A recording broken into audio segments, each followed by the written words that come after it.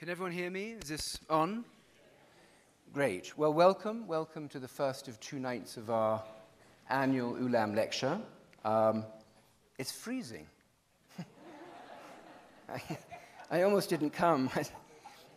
so, but anyway, yeah, I'm very hardy. So, the, uh, I'll just tell you a little bit about the Ulam lectures, and then I'm going to introduce our extraordinary speaker. Um, so the Ulam lectures are special in that we have them over two or three nights to allow a speaker and all of you to engage with material more deeply than you might if it were just 45 minutes to an hour. And uh, they're named after Stanislaw Ulam, and he was born in Lvov, which was in Austria-Hungary, Hungary, but is now in the Ukraine, and trained as a mathematician. And his family, of course, Claire and Steve here? They are here.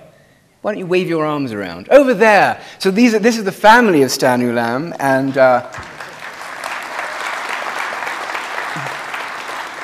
so long-term supporters of SFI, and it's just wonderful to have them here to keep it in the family. Um, so Ulam, as I said, got his PhD in mathematics. That was in 33.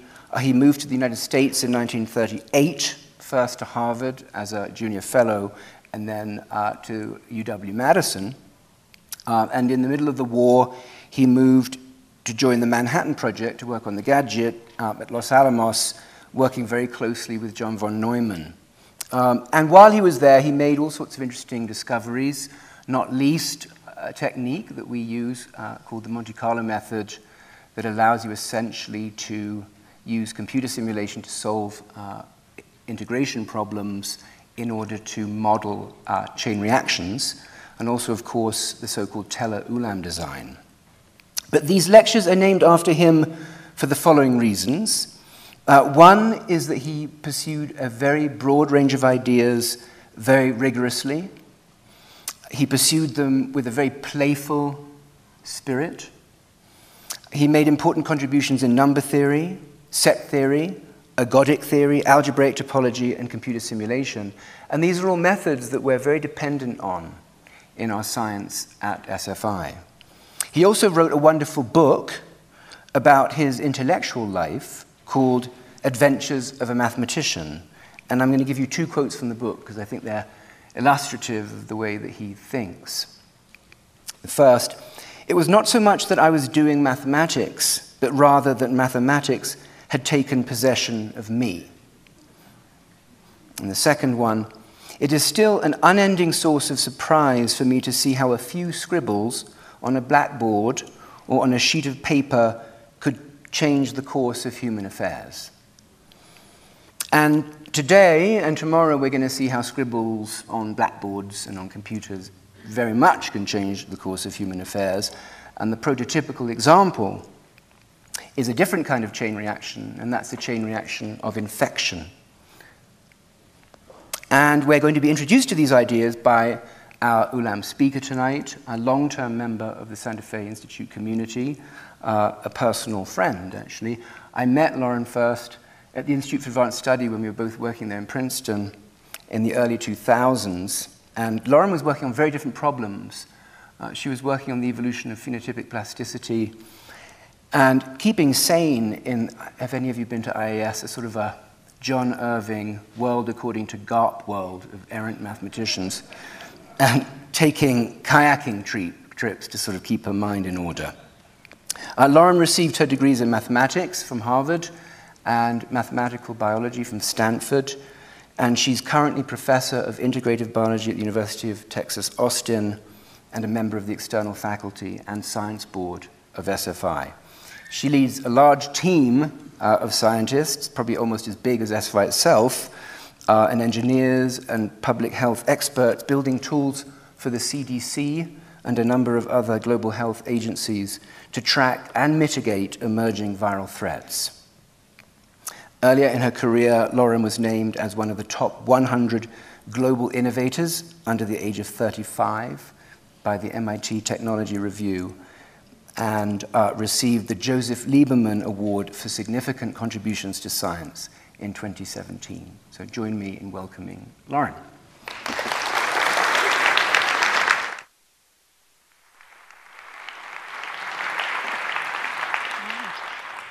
Good evening, everyone. It's a little hard to see you, but it looks like a big crowd, a very big crowd.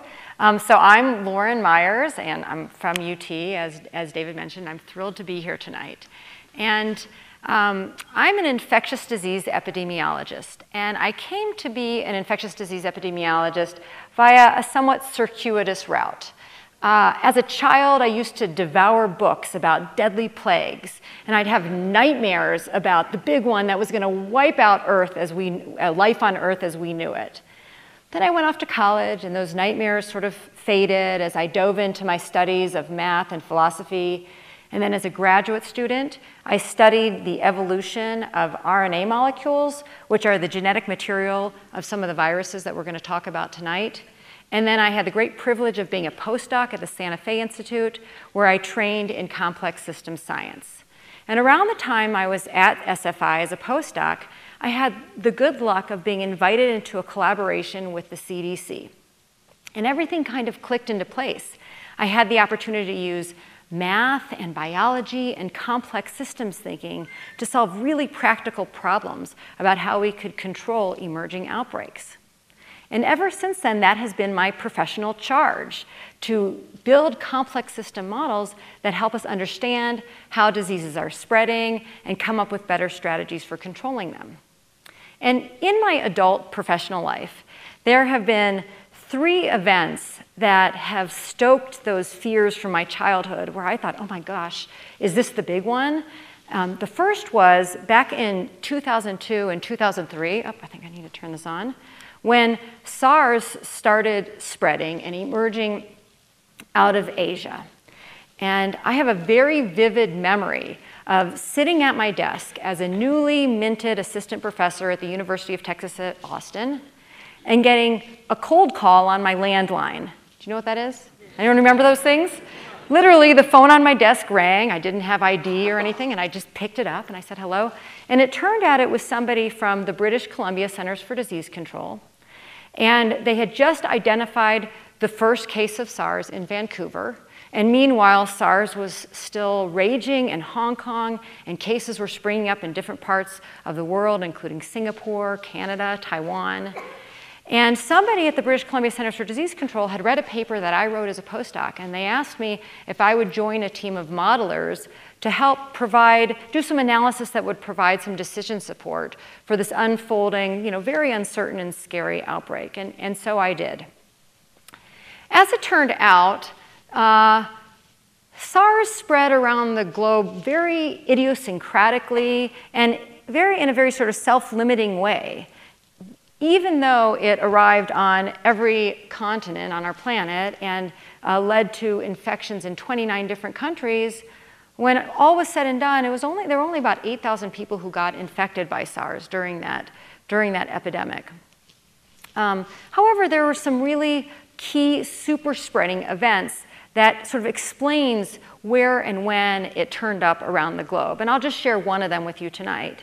There was a doctor who went to China to treat some of the first cases of SARS. And he unfortunately got sick he traveled to Hong Kong where he started developing symptoms and ended up dying from SARS. But before he died, he transmitted disease to at least 20 other people who were staying on the same floor of his hotel or very close to his floor of the hotel.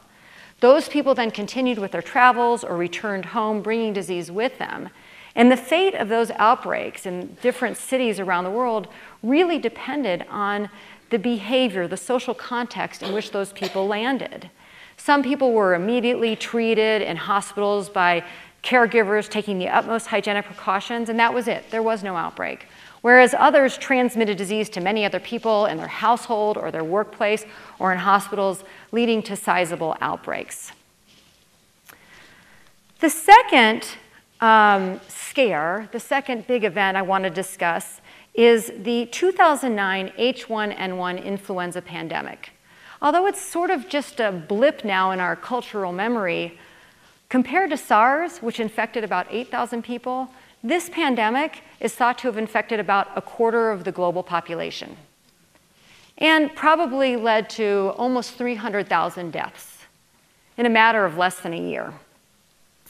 I also have a vivid memory from this event It was April 23rd, 2009. I was sitting with my family, and the evening news came on, and it, it had the first reports of this deadly new strain of influenza that was spreading around Mexico City and seemed to be pretty virulent. People were dying from it. So we have one really good friend in Mexico City. We immediately picked up the phone, called him, said, Do you know anything about this new virus? And he said, Yes, in fact, someone he worked with had just died that morning from the flu. And it was really alarming. It sort of uh, it, made my worst fears come to mind. And um, by the next morning, everyone was afraid, and nobody really knew how serious this was going to be. By the next morning, the CDC had corralled uh, many of the leading epidemic modeling groups from around the world onto a conference call in which they asked us to provide uh, some analysis to, to help them sort of navigate investigating the, the epidemic and, and plan for response efforts in the United States. So um, I'm going to talk tomorrow night a lot more about influenza. And tonight I just want to mention um, a few of the key, some sort of interesting sociological drivers that really determine the initial dynamics of that pandemic. So the first is that when this flu started spreading in Mexico City, uh, Mexico City went on their annual two week Easter break. So what happened is this, this uh, disease started spreading and then it kind of tapered off and then it took off again. So that two week break probably delayed the global emergence of the pandemic by a week or two.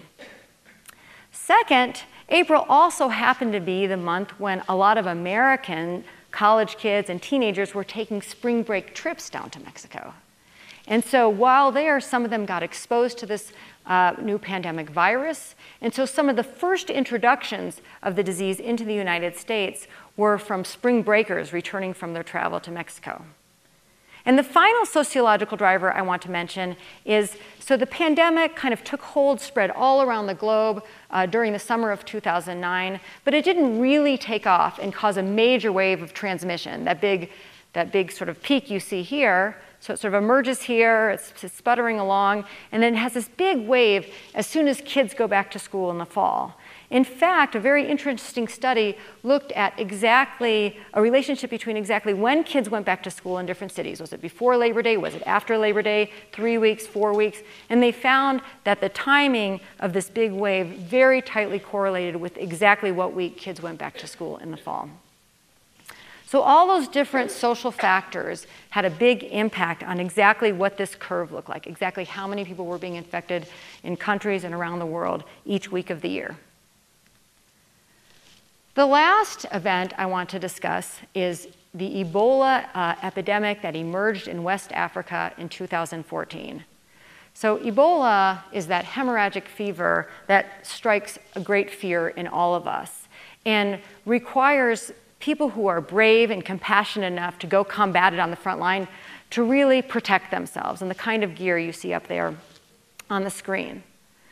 So, um, the Ebola pandemic of 2014 in West Africa, was, I'm sorry, not pandemic, but epidemic of 2014 um, was really unprecedented in its size, in its global reach, and in the devastating impact it had on the countries where it was spreading.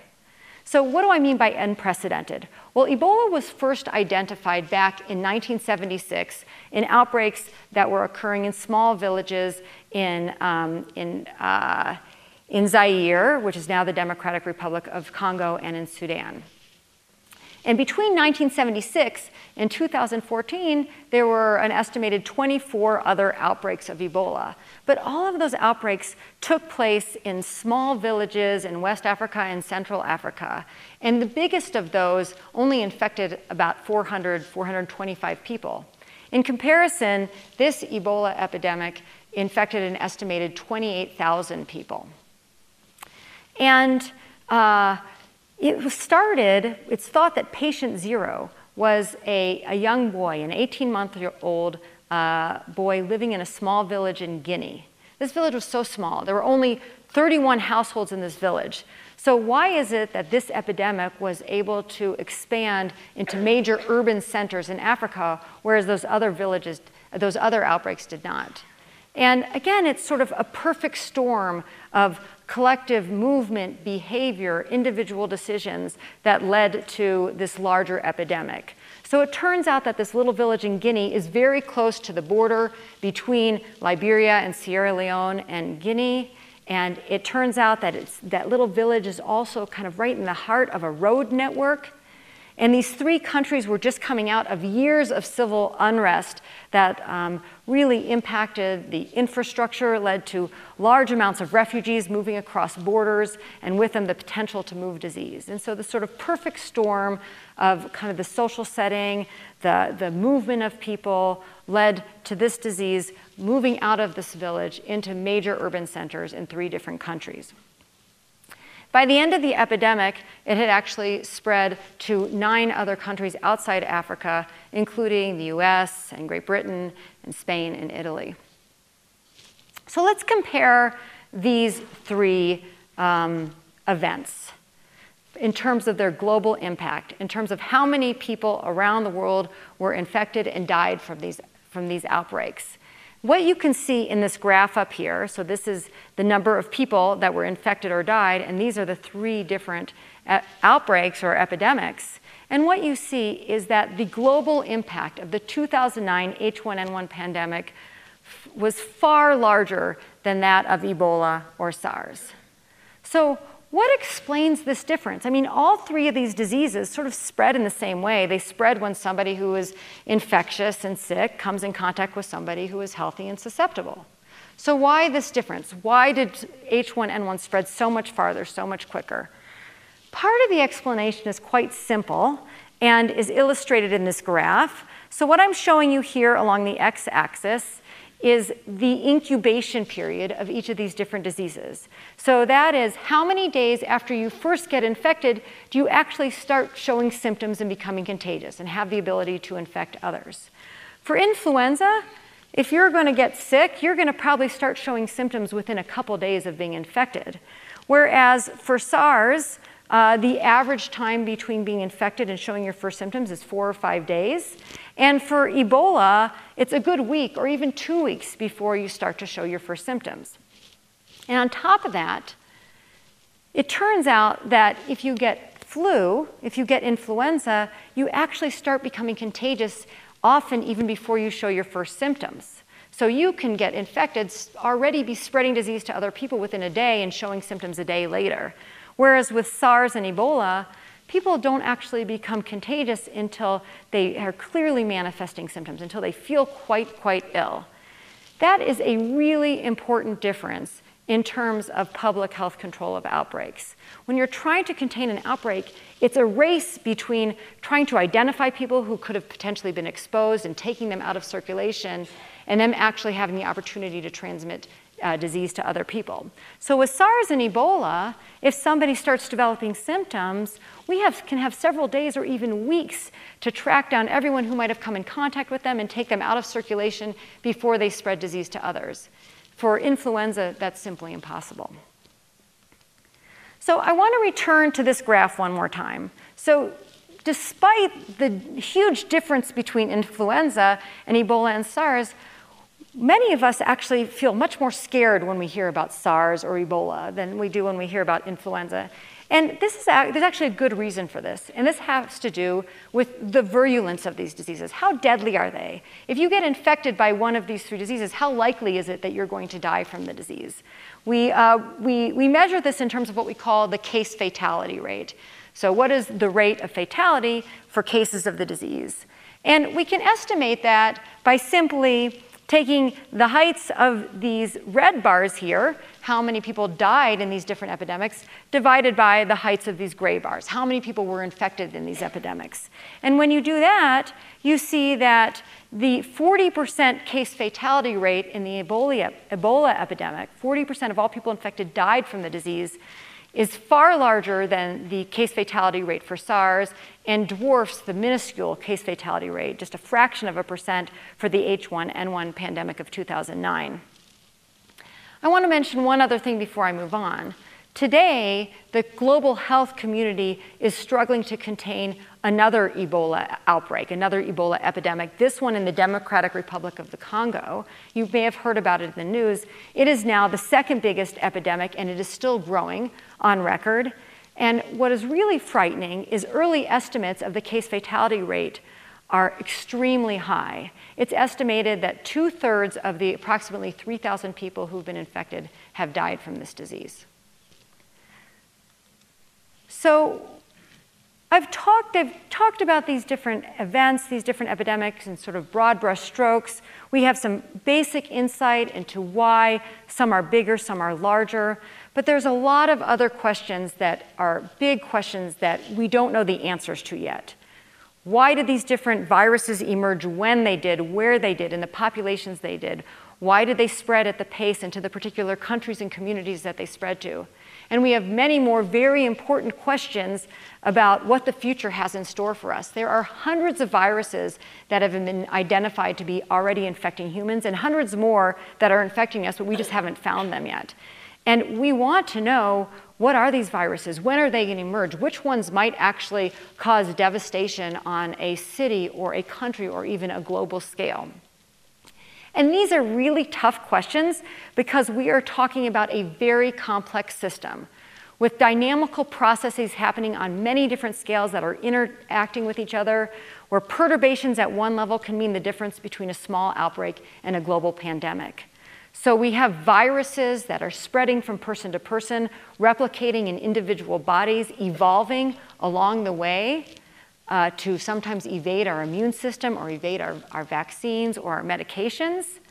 We have great diversity, great heterogeneity in human populations, people of different ages, people of uh, different genetic compositions, different uh, health of their immune system, underlying conditions. So many things make us different and mean that when, when a person gets infected, the course of their infection may look diff- very different from somebody else in their population. For some diseases, we also have to think about how those diseases or viruses are spreading in wildlife populations or on domesticated animal populations and how those populations are interacting with human populations. And then there's the climate. And then there's individual decision making and movement and behavior and then there's organizational decision making, interventions, vaccine campaigns. All of those things contribute to how, where, and why diseases spread the way they do around the globe. Tonight, I'm going to focus on one particular slice of this. That is, how do human contact patterns that emerge out of our daily movement patterns and our daily behavior, how do human contact patterns shape the way diseases spread around the globe? The way we travel around the world via flights, the way we move around cities, perhaps via subways in our cars, where we go to work, where we go to school, where we go to shop, the way we interact with people in closed settings, like our households, or hospitals, or schools, or workplaces. All of these things, all of these interactions, those are the, that provides the fuel or the lack thereof for epidemics.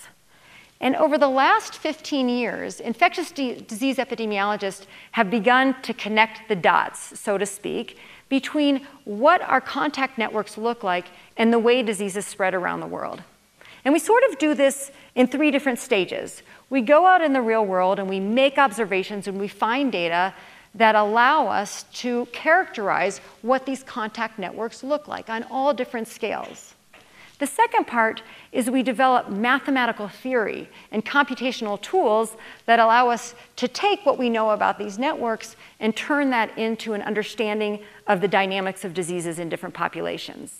And finally, we take what we understand about networks, we take our mathematical tools, and we put them into work in trying to tackle some real world challenges about emerging viral threats. So I'm going to take you on a tour of network epidemiology tonight. I'm going to start with Networks 101, just give you some basic language, a little bit of an idea of the kind of math that we do, and then I'm going to go through some examples where I show you some of this work, some of this um, science and math at work, uh, tackling real-world questions about where is there, where is risk highest in human populations, how can we accelerate our ability to detect emerging threats, and if we don't have enough vaccines to go around, how should we use them to save the most lives and prevent the most transmission? So let's start with some lingo. When we are modeling contact patterns in the real world, um, we use network representations And we represent individual people as what we call nodes or vertices, and those are just the circles that you see up here on the screen. We use nodes or vertices in networks to sometimes represent individuals, groups of individuals, maybe entire households, or even entire cities. The lines connecting these nodes are called edges, and we use them to represent contacts between individuals or groups of individuals that can lead to disease transmission. In a simple network like this, one thing we can do is simply count how many contacts each node has.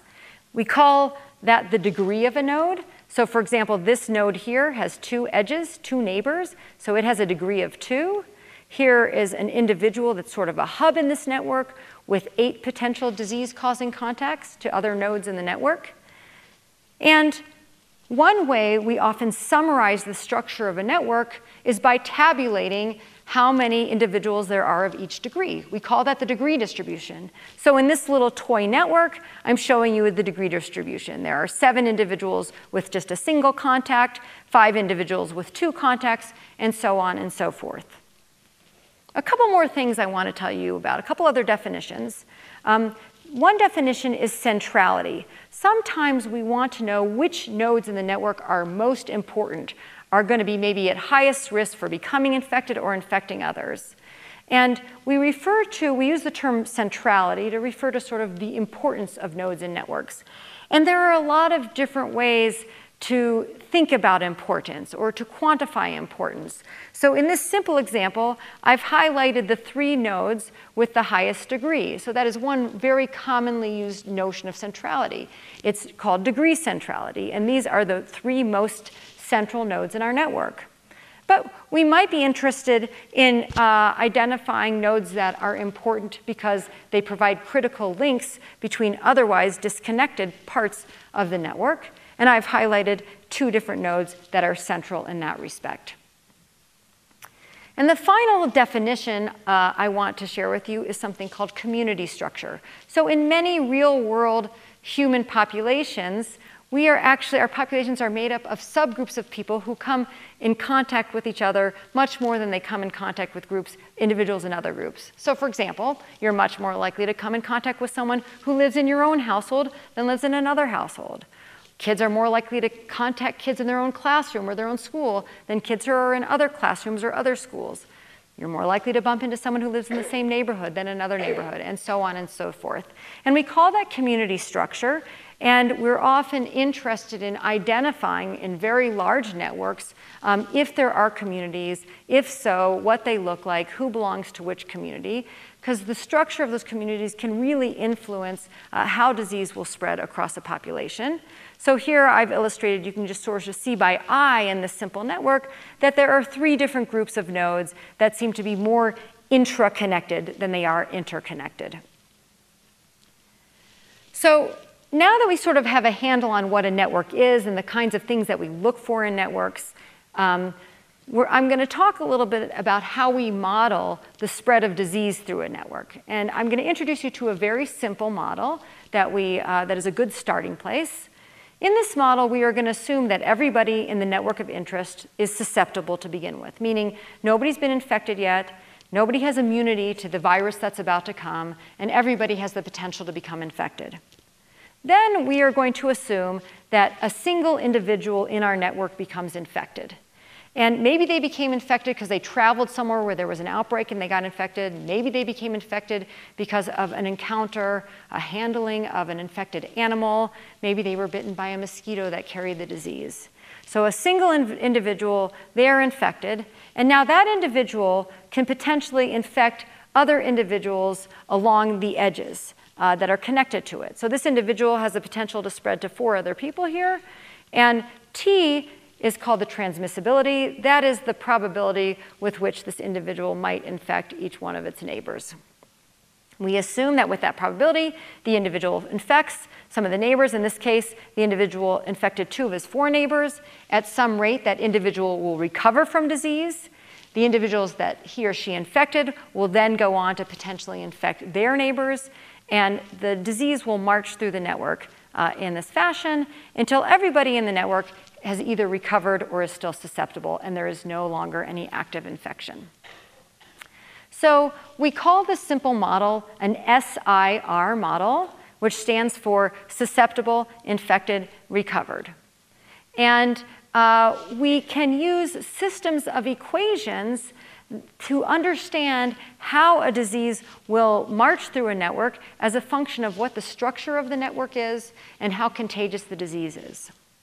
And the math that we use uh, is actually adapted originally from an area of statistical physics called percolation theory that was first developed back in the 1940s to model the flow of a liquid through some sort of material where you have channels that are either opened or closed. And you want to know, based on the configuration of those channels and the viscosity of the liquid, if the liquid's going to permeate all the way through the material, if so, what parts are going to get wet, et cetera.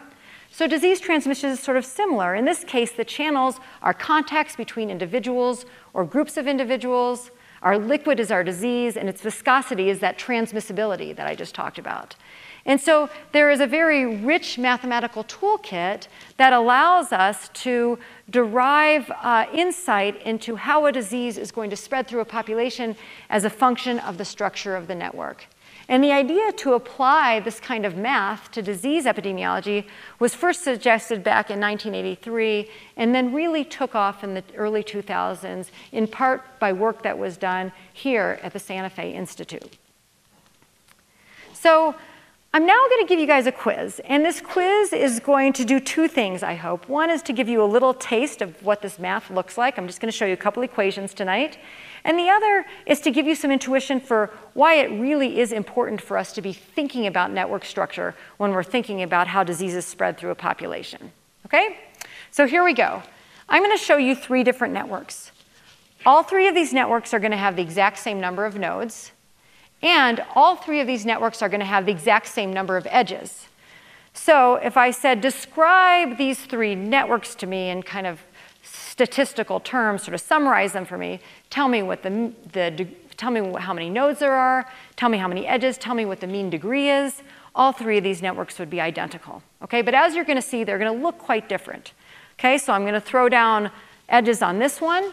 In this case, every single node has exactly two contacts. I'm going to throw down edges on this one. In this case, this network, each node has somewhere between one and three contacts, but the average is still two. And in this case, we see much more heterogeneity.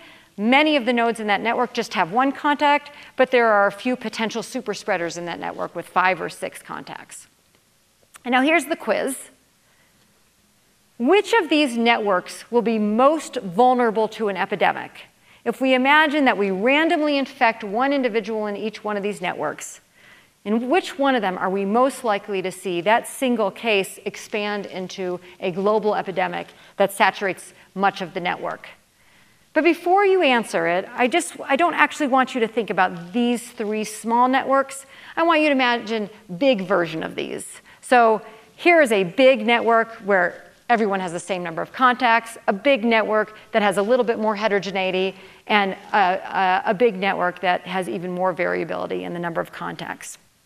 Okay, so here we go. Oh, and, and, I've given these networks names, and the reason I've done that is because these actually happen to be very well studied classes of networks. Uh, this first kind of network is aptly named a homogeneous network because it's completely homogeneous. Everybody has the exact same number of contacts. This middle network is sometimes called a random network or an Erdős-Rényi network. A good way to think about this kind of network is imagine we put our nodes down and then we decided we were going to have 100 edges in this network, and then we threw down those 100 edges onto the network completely at random, and we, we saw where they landed, who they connected. And finally, this is a power law network. It's called this because the degree distribution is a power law in which most nodes have very few contacts, just one or a couple, and a few nodes have very many contacts. They're, they're, they're sort of hubs in a hub and spoke network. Okay, back to the quiz. In which one of these three types of networks are we most likely to see a single introduction blow up into a large epidemic? All right, who thinks it is the homogeneous network? Okay, it's hard to see. Who thinks it's the Erdős-Rényi network? Okay, got a few takers. All right, someone likes the Erdős-Rényi. And who thinks it's the power law network? All right, very popular. Okay, so before I tell you the answer, we are going to take a little detour and we are going to go back in time and talk about a very important quantity in infectious disease epidemiology that predates anybody ever thinking explicitly about networks. And that is a quantity known as the basic reproduction number. So, um, this quantity is so important that in the blockbuster movie Contagion, there is a whole scene devoted to Kate Winslet up on a whiteboard uh, explaining to the powers that be in the room exactly what the reproduction number is and why it was relevant to the, the contagion, why it was relevant to the, to the threat at hand. So, what is the basic reproduction number? Well, a good way to think about it is it is if you have somebody, if you have a totally susceptible population, nobody's been infected yet, and you have a single case of disease, what is the expected number of people that person is going to infect? What is the expected number of secondary infections? So if you have a disease with a reproduction number of three, that means that the first cases of the disease in a population are on average going to infect three other people. That doesn't mean that everybody infects three other people. Some people may infect no one, some people may infect six people, but on average, the number of secondary infections for each case is three. And so uh, this is a really important quantity because it tells us something about how quickly a disease is going to spread through a population and also tells us something about how much time and how much effort it's going to take in order to control the disease. So it's hard to see what she wrote up there, but we actually have estimates of reproduction numbers for every well-known uh, disease, every well-studied disease. And often this is one of the first things epidemiologists do. When Ebola started spreading in Africa in 2014, when H1N1 started spreading in 2009, this is one of the first things people went out and did. They tried to collect data and estimate from that data how quickly these epidemics were spreading. So for childhood diseases that we now have vaccines for, before we had vaccines in populations where everyone was susceptible, they had really high reproduction numbers. Kids with measles and chickenpox and polio and smallpox, they were on average infecting five or seven or 10 other kids when they got infected.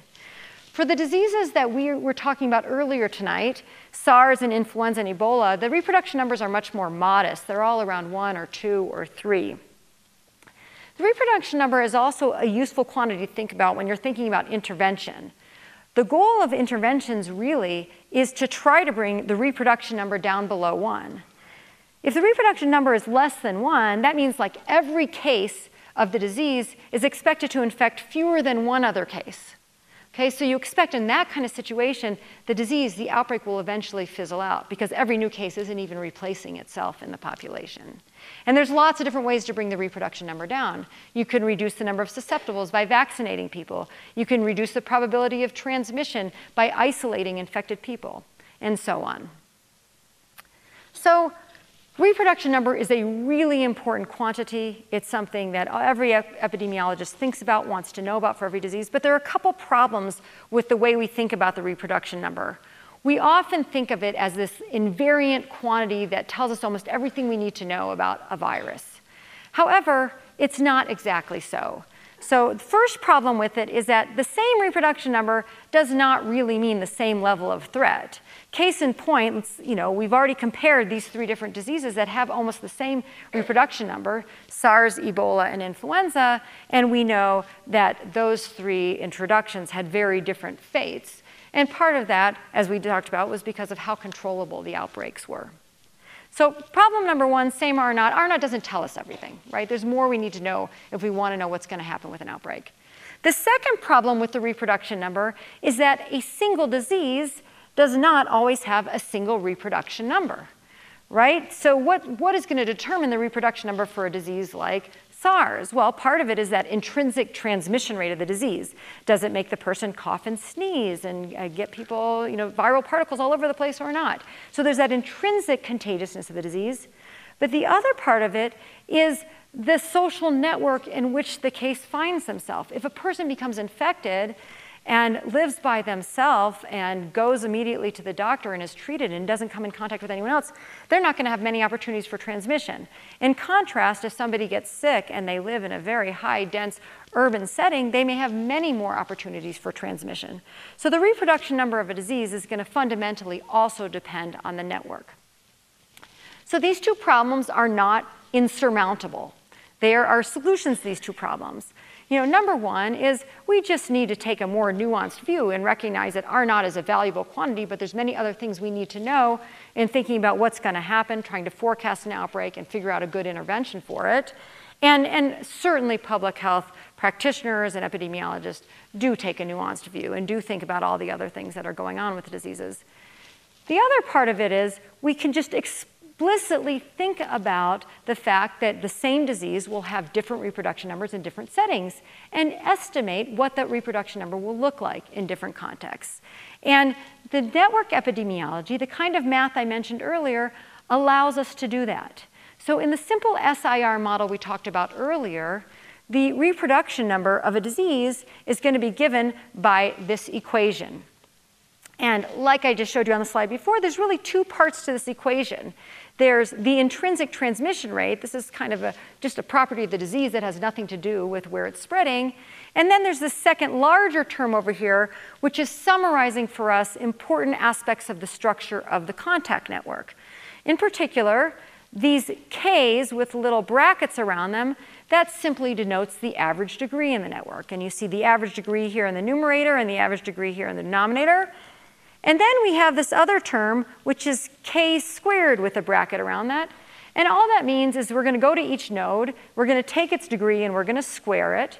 So if a node has degree 3, we're going to turn it into a 9, or if a node has degree 4, we're going to turn it to 16, and we're going to take the average of those degree, of those squares of the degree. And essentially what that's doing for us is it's telling us what the variance in the degree is. So another way of thinking about this equation is that the reproduction number of a disease is going to be a function of three different things the intrinsic transmission rate of the disease, the average degree in the network, and the variance in degree in the network, or the standard deviation, you know, the, the difference between people and their degree. This term is really important. What it tells us is that variation in contact patterns, variation in human behavior, implies vulnerability, makes populations more vulnerable. So now we can return uh, to the quiz. And the majority of you got the answer correct.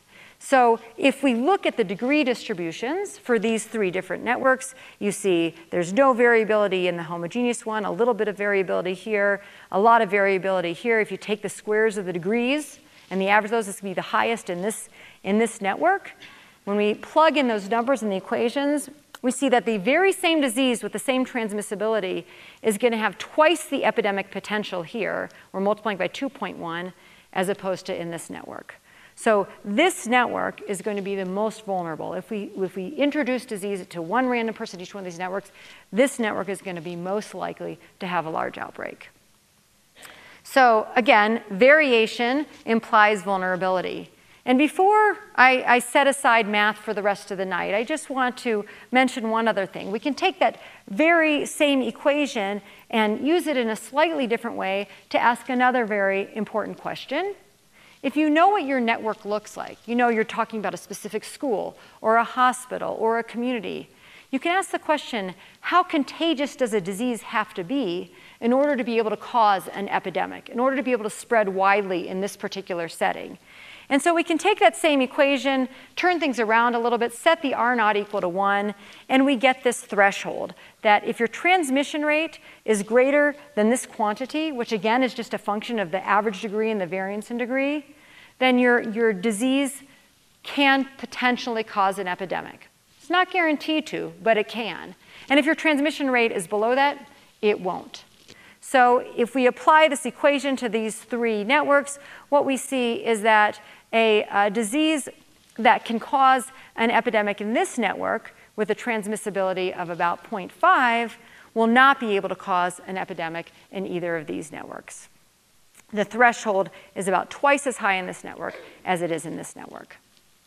Okay, so that was math that was developed for a very simple network model in which we assumed that all the edges were similar, that the edges weren't changing in the network, that the disease transmission process was quite simple. In the real world, the networks are much more complicated. We have community structure, we have differences in nodes, differences in edges, we have edges that sometimes change in time. We also have disease transmission processes that are, that are more complicated than the simple SIR model. And so a lot of the work that's been done over the last 15 years in network epidemiology is to try to build more analytic tools, more methods that allow us to make those same kinds of predictions, same kind of calculations, but in more complex real world networks. And we've developed strategies and models that allow us to answer real world questions like the following Who will be infected in a particular population and when? Who are potential super spreaders in a given population? Who might be critical conduits joining one part of a community with another part of community? Which edges should we break if we're trying to intervene to stop an outbreak? What do we mean by breaking edges? Well, maybe we're going to close schools so that kids don't come in contact with each other. Maybe we're going to shut down air travel so people can't move from one part of the globe to another. How will the pathogen evolve as a function of the structure of the host network? Who should we monitor? If we can't keep track of everybody in a population and we can only monitor a subset of it, who should we be tracking to know as early as possible when an epidemic is emerging and to get the best data possible if we want to forecast what's going to happen in the days or the weeks to come? Where and when will future outbreaks emerge? Once an outbreak has emerged, when is the epidemic going to reach its peak? And how high will that peak be? We're going to need to know that because we're going to want to make sure that our hospitals have adequate resources, adequate personnel to handle what we call the surge in an epidemic. Where and what should we stockpile? How many vaccines should we have? How many drugs? Do we need to have ventilators ready in, in hospitals and ICUs to keep people alive? And who should we vaccinate? Who should we give drugs to if we don't have enough to go around to cover the whole population? So that brings us to the next part of the talk. We're going to actually start seeing some of these network models in action. And the first topic I'm going to bring up is epidemic hotspots, using network models to identify what parts of our network are most at risk for becoming infected and infecting others. And I'm going to start with a very simple and powerful example from a study done by a colleague at Northeastern University, Alex Vespignani, during the Ebola epidemic of 2014, his research team very quickly put together a global model of Ebola transmission that incorporated into it global air travel patterns. And they used this model to forecast what places outside Africa were likely to have Ebola cases imported into the country. And in their list of top five most vulnerable countries, four of those five turned out to be among the nine countries outside of Africa that actually had Ebola cases. Often we're interested in something even a little bit more complicated. This is just a study of where might a disease land. But often what we're interested in is not just where might a disease land in a network, but where in a network are we going to have the engine of transmission? What parts of a network are really going to make the difference between a small outbreak and a large epidemic? And to answer that, to find those hotspots, we have to understand something about the sort of global structure of the network, figure out where disease is both likely to arrive and also likely to emanate from. And I'm going to give you three sort of vignettes where we have used network modeling to identify hotspots that may be intuitive in retrospect, but it really took thinking about the network to identify them in the first place. So the first example comes from a study uh, this was the study I mentioned early on in tonight's talk, the first study that I did with the CDC. It was a study of how to control the spread of walking pneumonia in closed settings. So walking pneumonia uh, doesn't tend to cause large outbreaks out in sort of general communities, but when you have outbreaks in closed facilities like college campuses or healthcare facilities, it tends to spread very quickly and be very hard to control.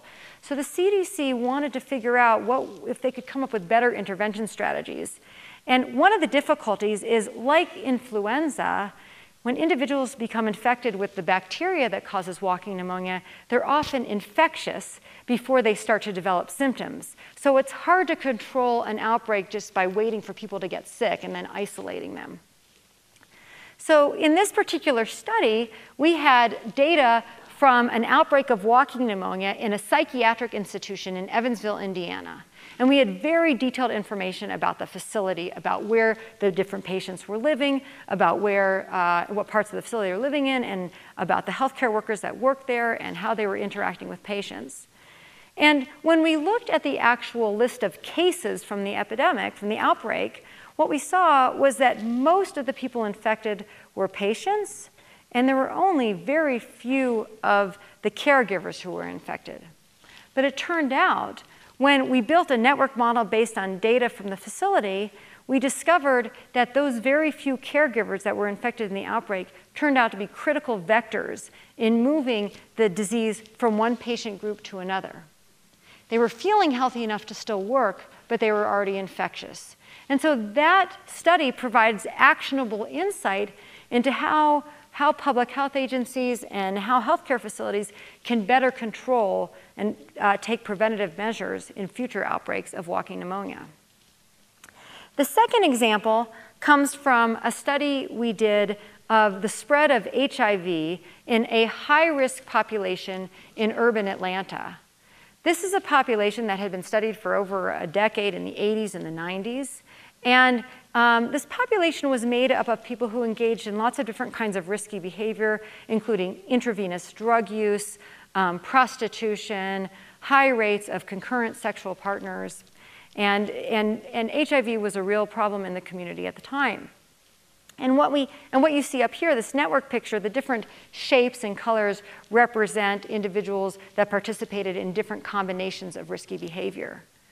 So when we went in and we looked at longitudinal data, where they'd actually gone in and asked individuals who were your partners in the last few months, and they went back a few months later and asked again. So we had very detailed data. When we used that data to build a network model for the population, uh, what we discovered is that there were some key bridges connecting otherwise disconnected part of, parts of the community. So this, community, this, this network had community structure. And the major communities where there was a heterosexual community and then another community of men who were engaged in homosexual sex. And those two communities were pretty much separated with the exception of a few individuals who were engaged in intravenous drug use and were able to spread disease uh, via needle sharing. And so those individuals, those contacts, those drug users, they didn't actually have many direct contacts. They wouldn't have been the people with high degrees, but they turned out to be the critical links, the critical bridge from one side of the community to the other side of the community. The final example I'm going to give you is a little bit more complicated. Rather than thinking about a static network where those, those, those contexts are sort of fixed in time, in this study, we are dealing with a very dynamic network. And these are network models that we've built based on a month worth of subway transit data from the biggest city on earth, Shanghai, China. 25 million people live in Shanghai, China. And the data we have includes the comprehensive subway movements of about 11 million of those people.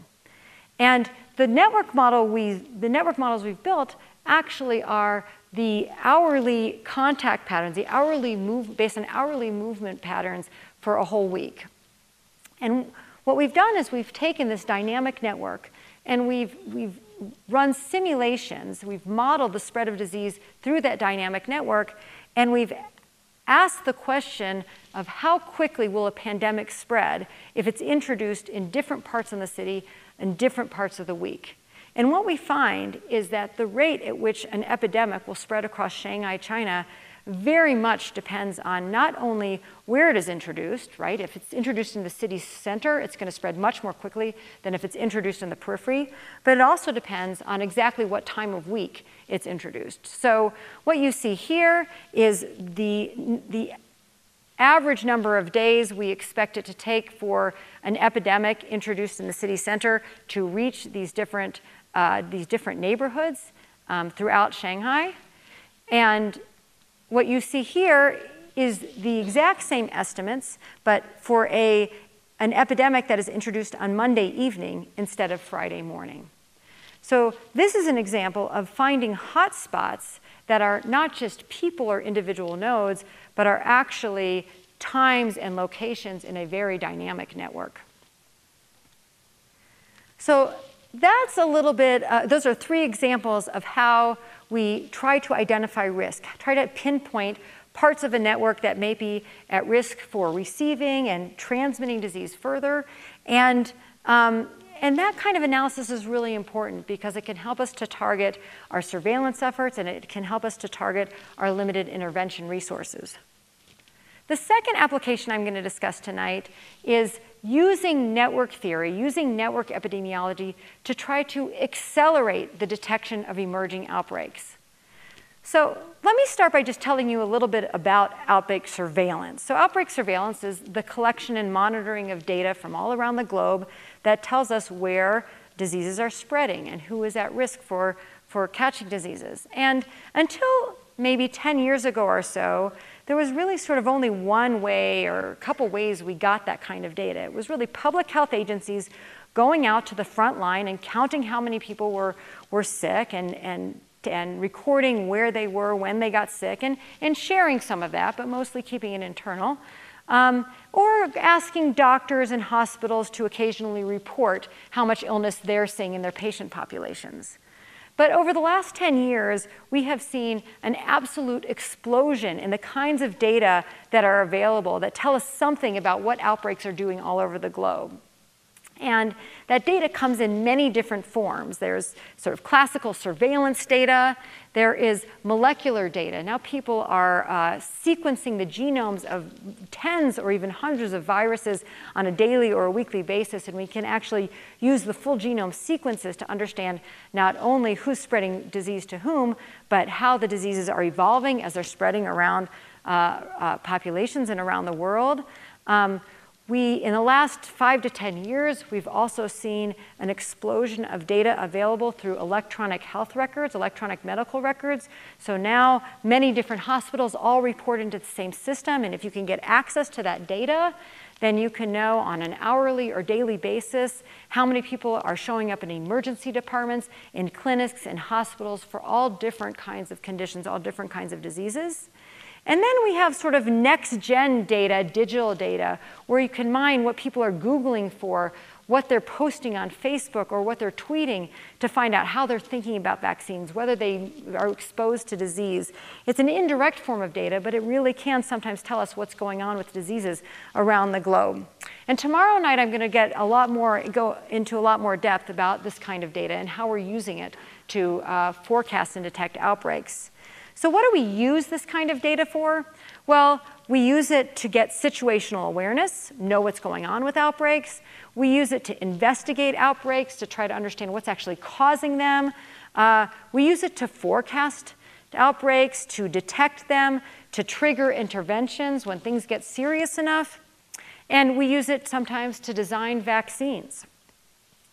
So tonight, I am going to just ask a basic question who or what should we track to detect and forecast outbreaks? And instead of looking at some of the more complex problems that we're dealing with in the real world, we're going to ask this in a very simple network context. Okay? So here's the question Imagine you have a network, like this little blue network, and I want to know as early and accurately as possible when an outbreak is spreading in the network and I want to be able to forecast as early and, and, accurately as possible when that epidemic is going to peak and how high that peak is going to be. So here is our little toy network. Imagine an epidemic spreads through it, and this is the actual epidemic curve. This is the actual time series of what proportion of the population is infected at, during each day of this outbreak. But I would only see this if I could monitor every single person in this network. Imagine this network is really big and there's no way I can track the health of every single node. So instead, I'm just going to pick a subset of nodes and I'm going to track whether they are healthy or infected. So imagine I choose these five green nodes here. If I track the proportion of those nodes infected, I may see something that looks like this green curve. So this is my epidemic curve for my surveillance group. And it may or may not actually reflect what I want to know, which is what's going on in the population as a whole. So the question that we, we asked and that I'm going to ask you is what is the best strategy for choosing individuals to monitor if we want to do two things. If we want to know as early as possible when we're about to see a surge in transmission in the population, and we also want to predict as accurately as possible when and, wh- and how high that peak is going to occur. So I have a second quiz for you. I'm going to give you two options for strategies for selecting a surveillance group. The first is the one that is actually most commonly employed in the real world, and that is simply try to get a random representative sample. Try to pick individuals that are going to represent the typical individual so that what you see in that group most accurately reflects what's going on in the population as a whole. So, strategy number one is like literally throw darts at my population, throw darts at my, at my network, and, and, uh, and track the nodes that we land on. The second strategy, which is also quite sensible, is to try to find the most central nodes. In this case, we're going to try to find the nodes that have the highest degree, and we're going to track those, in this case, those three. So why does that make sense? Well, nodes that have higher than average number of contacts are more likely than average to become infected. Imagine you have a disease spreading through a network, and uh, there's an individual who's sick, and he is about to spread disease along one of his edges. Now, you have an individual over here who has a degree of 10, so 10 edges pointing into that node, and you have an individual over here who has a degree of 1. All right?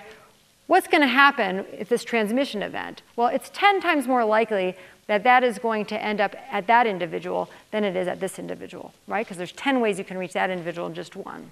So this is why central nodes, nodes with more contacts, are more likely to become infected than nodes with fewer contacts.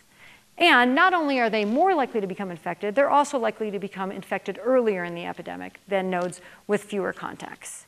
Okay, so here's the question for you. If you have to choose one of these two strategies, which one would you choose? Who would choose to build a surveillance system by targeting random nodes? Okay, one person, very brave. Okay, and who would choose uh, the second? Okay, all right, heard some claps. And anyone, none of the above? I see some none of the above. Not everyone voted. Okay, well, it is a little bit of a trick question. Both of these strategies make a lot of sense and, can, and are valuable for certain types of surveillance, uh, but neither one of these is perfect. So if we track random nodes, we get sort of what we expect. We will probably get time series that look a lot like what's truly going on in the population as a whole, as long as we picked a good representative sample. Um, and that is really good for situational awareness. That's really good for knowing at any one time what does the risk look like? What is the burden in the population? It's also really good if we want to know the size of the peak. The only problem is we don't know the size of the peak until we're at the peak, but it does give us a really reliable estimate. If we track the central nodes, we are likely to see sort of what we expect. We're likely to see an epidemic that emerges quickly. And that is good because that's going to give us the earliest possible warning uh, for an emerging outbreak. And, um, but and it's also, it also might tell us something about the peak, but one of the issues that we find when we, when we actually done the theory, when we've actually done the calculations, is that the size of the peak and the timing of a peak for a central surveillance group very much depends on the structure of the network and the contagiousness of the disease. And so even though you know it's going to peak, it's really hard to kind of correct for and figure out what, when and where is the true peak going to happen in the rest of the population. So if we have a slightly different disease or a slightly different network, our central nodes might give us a peak that looks very different. The other issue with tracking central nodes is that we can't actually do it in most cases. It's very difficult to go out into a population and figure out who has the most contacts. Like, how would I figure out who in this room is likely to have the most contacts next time they have influenza? So it's really hard. You can identify uh, classes of individuals that are likely to have more contacts than other classes, like children. Tend to have more contacts than adults, and you know, healthcare workers may have more opportunities to get exposed to disease and infect others. But it's hard to find truly the center of your network. So Fortunately, there are, there's at least one workaround. There is a strategy that's actually better than both of these, and um, it's a very simple strategy. Uh, we are going to use random contacts of a random sample. So what are we going to go? We're going to go and we're going to pick a random sample in a population. That's easy to do. And then we're going to ask each one of those individuals to name one of their contacts. And instead of tracking those original individuals, we are going to track the contacts that they name. So why is that any different than just tracking the original random sample? Well, for the same reason that high degree nodes are likely to become infected, when a person names a contact, that contact is going to be more likely to have high degree than low degree, right? It's just you're going along an edge again. If I'm going along an edge, if I'm naming a friend, I'm more likely to reach someone with 10 friends than with someone with just one friend. So when we use this strategy for selecting people to monitor, we end up choosing people that have higher degree than average. They're not the most central in the network, but they are more central than our random sample. So what that means is that when disease starts spreading, these individuals will tend to get infected a little bit earlier than the typical person. So it gives us a little bit of that lead time. And it turns out that this is a little bit more of a robust strategy than the central strategy. It's a little, that this, this strategy gives us peaks that are a little bit more consistent across uh, diseases and across networks. And the really cool thing about this strategy is that it has actually been validated at least once in a real world study. So uh, back during the 2009 pandemic, there was a study done by Christakis and Fowler in which they recruited a bunch of Harvard students right before the disease really picked up steam, right before the pandemic picked up steam. And they asked each one, each one of these students to name a friend. And they tracked the original population, the original random sample, and the friends sample. And they watched what happened throughout the flu season. And certainly not every single one of the students got infected, but many of them did. And what they found is that the epidemic in the friend group preceded the epidemic in the original random sample by almost two weeks. So it really did work. It really did give them lead time. So it's a very kind of robust and very practical strategy for building a surveillance system that can give us early and more robust uh, warning of an emerging threat. So finally, I want to talk a little bit about applying this kind of network epidemiology to deciding how to allocate limited public health resources to save the most lives, to prevent transmission. And so before I do that, though I'm going to uh, go back again into a very kind of central and um, uh, canonical idea from infectious disease epidemiology that we've been thinking about for over a century, and that is the concept of herd immunity. That is the idea that you can actually eradicate a disease from a herd or a population by vaccinating some, but not all of the individuals in the herd or the population. So, and why is that? And here's a cartoon kind of illustrating this.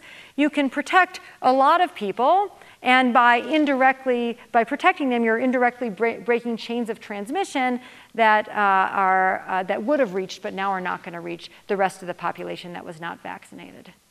But how many people do you, what, what fraction of population do you actually have to vaccinate in order to completely eradicate the disease? Well, that really is going to depend, again, on the structure of the network and the contagiousness of the disease. The more contagious the disease is, the more people you have to vaccinate in order to eliminate the disease. For a highly contagious disease like measles, you have to vaccinate over 95% of the population in order to prevent an outbreak. So, but there's another, so herd immunity is the fraction you need to vaccinate to completely wipe out the disease. But there's another closely related concept that I'm going to call herd protection, which really doesn't have a name, but it's basically the idea that even if you're not going to fully eradicate the disease, when you vaccinate somebody, you may also indirectly be protecting other members of the population. So in this case, I've given this guy an umbrella, I vaccinated this, and this guy stays dry, and there's about one and a half other people that also stay dry because of the protection of that individual. So with that in mind, we're going to do our third and final quiz. So we have our simple network here. And imagine we're in a scenario like what actually happened during you know, the 2015 Ebola. They were developing, they were, they were developing vaccines, and it wasn't until sort of the tail end of that epidemic that the first vaccines were, were um, were deployed in clinical trials in the field, or in the 2009 pandemic. Um, we were well six months into the pandemic. In most places, the pandemic had peaked before we were able to actually get vaccines into the arms of people. So, you know, there's many times where we're going to be in a situation where we'd like to be able to vaccinate everybody, but we just simply don't have enough vaccines to go around. So imagine we have a network we have a disease raging in the network or about to rage, about to emerge, and we only have two vaccines. Who are we going to vaccinate? Are we going to vaccinate those two individuals, those two central individuals in yellow? Are we going to vaccinate these two central individuals in a different respect in orange? Or maybe these two random individuals I chose in green? So who thinks yellow? Who thinks orange? Hey, who thinks green? Yeah, I mean, without any other information, I would probably also pick orange, but we may be in a, set, in a scenario where the disease is already spreading, and we would want to take that into account.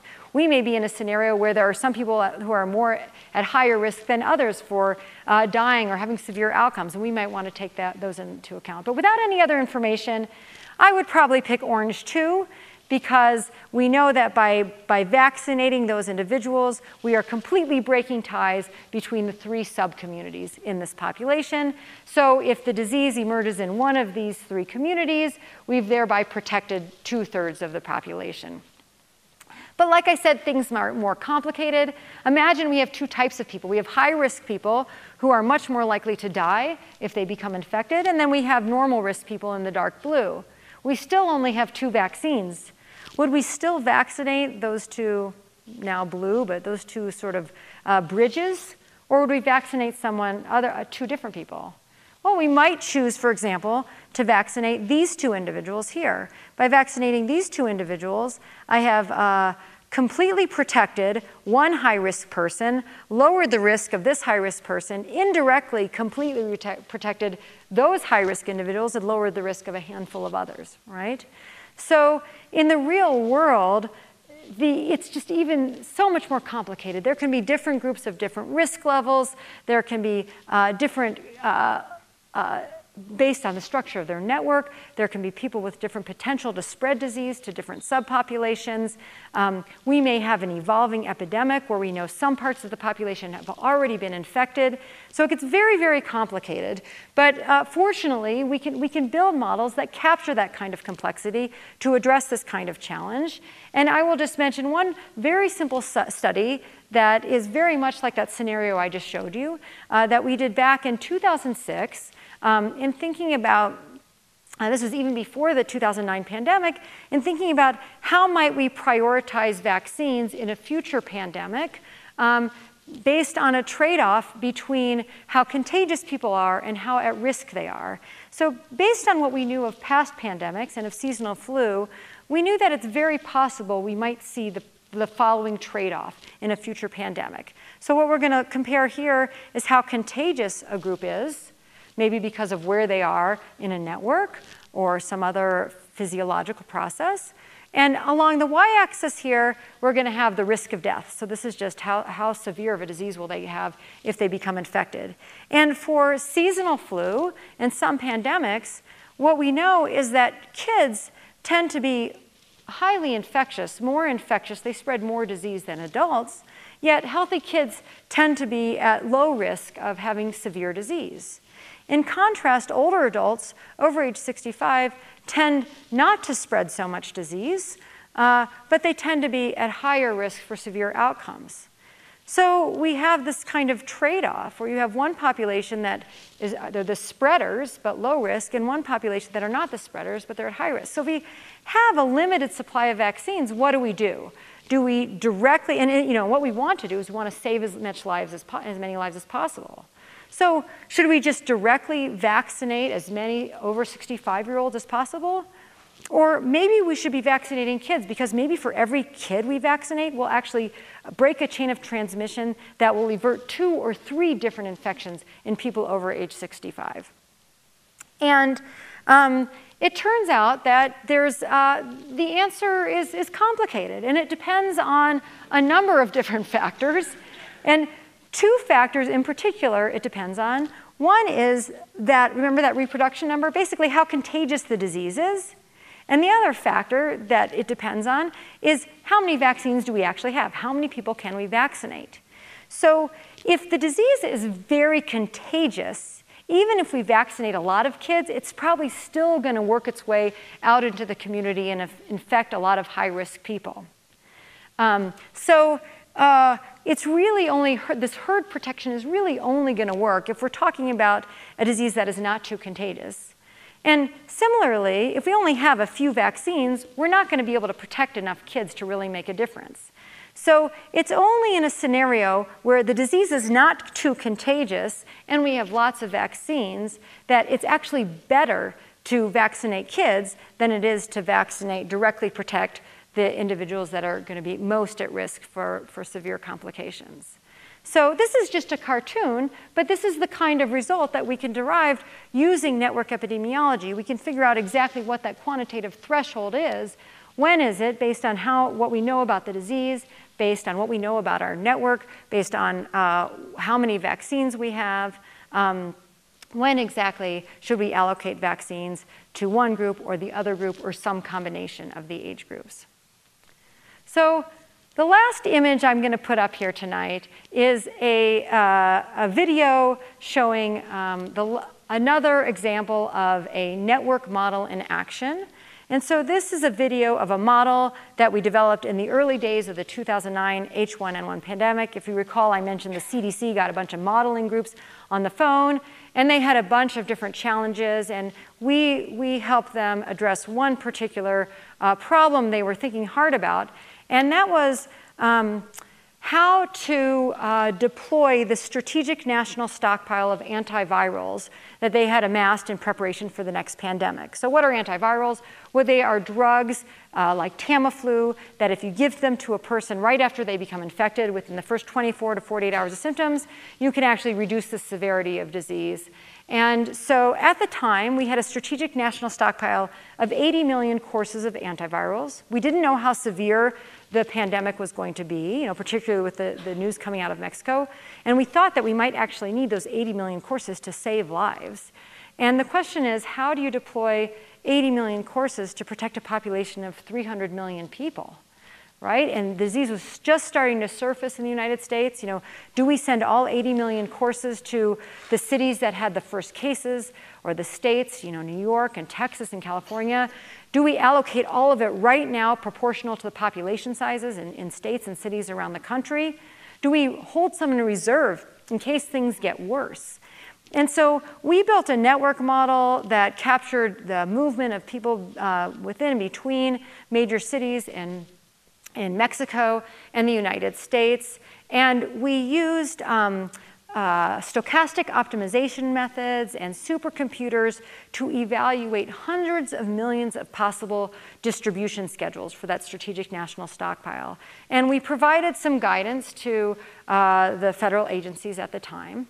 And what actually turned out to happen was within a few weeks or months, they, they realized that this pandemic fortunately was not as virulent as it could be. And they ended up only releasing about 11 million of the 80 million courses and holding the rest in reserve for a future threat. So um, in closing, I hope I've given you a feel for network epidemiology. It is an approach to thinking about the diseases that is um, both intuitive and powerful. And it really has helped us to understand the drivers of epidemics and come up with better strategies for controlling outbreaks. And um, the emergence and growth of this field of science is really an example of the Santa Fe Institute at its best, bringing together scholars from all different disciplines um, and giving them a space where they can engage with each other and also engage with practitioners who are at the front line trying to address global challenges so that we can together make discoveries that are both profound and practical.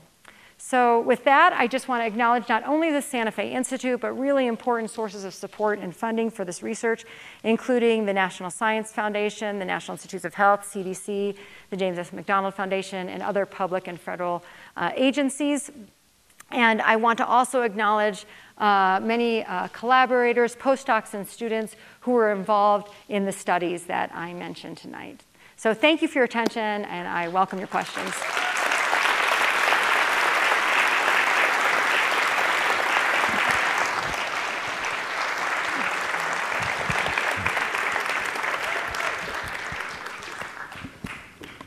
Questions?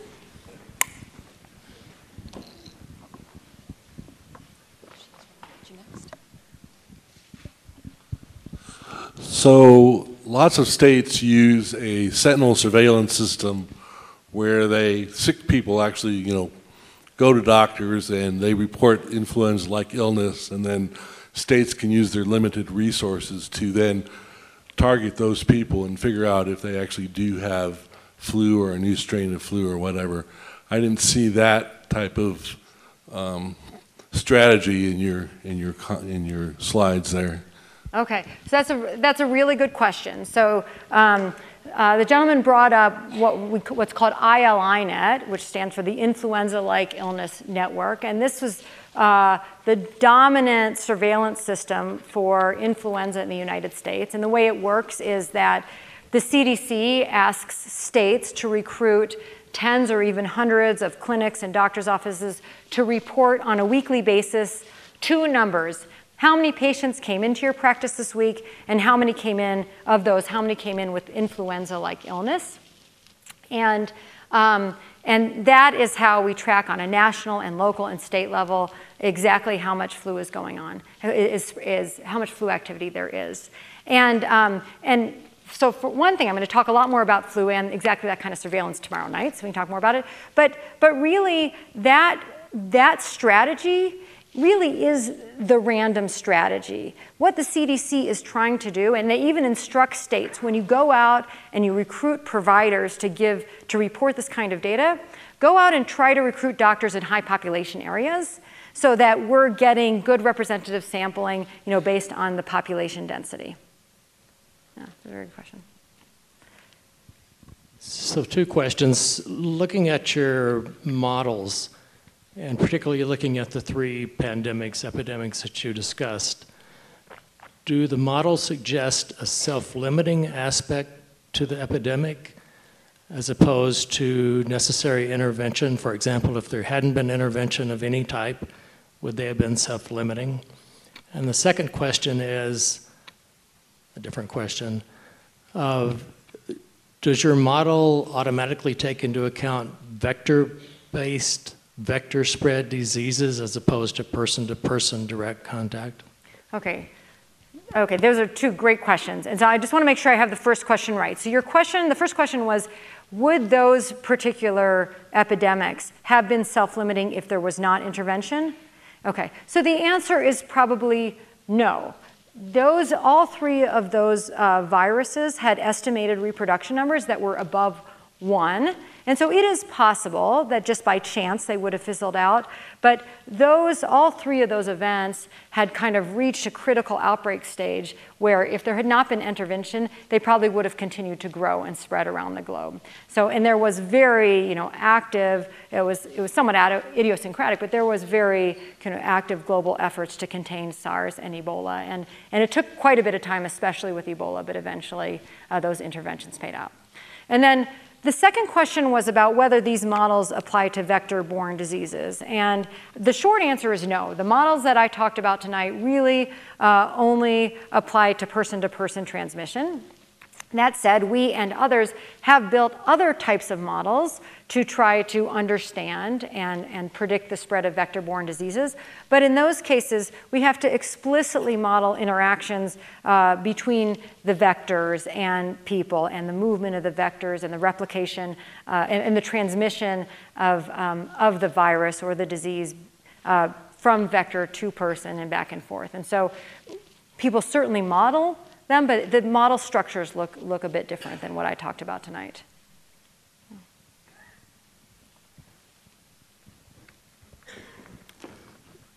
Two questions. How does global warming and climate change affecting this, for example, in Abaco Island, Grand Bahama Islands now, where this had the, where they had the hurricane 23 days ago, and there's complete devastation. So how do you track that? Also, can this be reverse engineered and be weaponized and used for warfare? Okay. Uh, so the first question is how is climate change and natural disasters like hurricanes, how is that changing the landscape, the dynamics of, of emergence? And, and the answer is it's, it's probably changing risks all over the globe in many different ways. In some ways we've modeled and we understand, other ways we probably don't understand quite yet. But um, so the emergence of Zika, the transmission dynamics of dengue, all of those are probably being influenced by changes in where mosquitoes are living because of climate. Um, influenza is known to be, uh, the transmission dynamics of influenza is known to be affected by humidity. As climate changes, we may see differences, we may see changes in the transmission dynamics of influenza. Um, and there are uh, there are probably many other effects we still don't appreciate. And there are many people who work on the interface between infectious diseases and climate science who are thinking about exactly those kinds of problems. Um, as far as hurricanes, um, and natural disasters, there are certainly well studied examples of uh, devastating outbreaks happening in the wake of civil unrest, of natural disasters, cholera outbreaks happening after, um, after earthquakes or hurricanes uh, because public sanitation is not, is, is, has been undermined. Um, uh, interestingly, in the, in the aftermath of um, the hurricane in Puerto Rico, uh, there was some concern that we would see uh, increase in um, vector-borne diseases like dengue, and it seemed that actually there was a temporary respite uh, from the transmission of some of those arboviruses, only temporary, possibly because the mosquito populations were knocked down uh, by the actual natural disaster itself. But it's, it's such a complex and important problem, and there are a lot of people who are hard at work on that.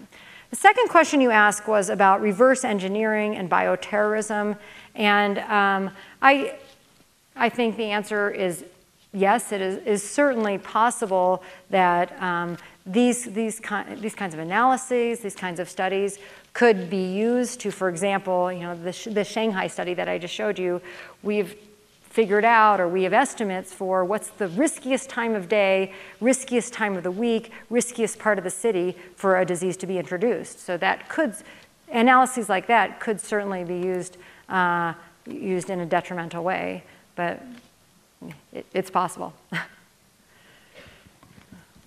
Okay, we have one back here. Hi there. Uh, thanks for your uh, great talk. It was really interesting. Thank you. I don't know Um, where I'm looking, sorry. That's okay, in the back. Oh. Um, my interest is in folklore, uh, particularly the way that rumors uh, intersect with uh, medical misinformation. And I'm wondering if you could talk just briefly about uh, the, the challenges posed by rumors. Um, for, for example, uh, in West Africa, rumors about Ebola. Uh, you know, there's been conspiracy theories that, yeah, that some Western doctors are actually spreading it. Uh, in Pakistan, for example, uh, there were uh, polio workers that were killed. Uh, and there's, of, course, anti vaccination rumors. So I wonder if you could just talk a little bit about some of the challenges posed by rumors and medical misinformation. Um, yeah, so I, I think you talked very eloquently about it. I think you gave two great examples, right? In, in the Ebola epidemics, there was a lot of distrust of uh, global health workers coming in and, um, the, and not understanding and working well within the cultures, and people feeling like they, that maybe it was actually these Westerners coming in and, and bringing the disease with them, and that was very detrimental to the intervention efforts. Um, but I do think that the one close to home that you mentioned is. Um, is uh, the rise in vaccine hesitancy in the United States because people believing essentially rumors, people believing that vaccines are not safe when they actually are safe. And we're seeing a rising public health crisis at home with the emergence, reemergence of measles in pockets uh, because of exactly that. We have time for two more questions.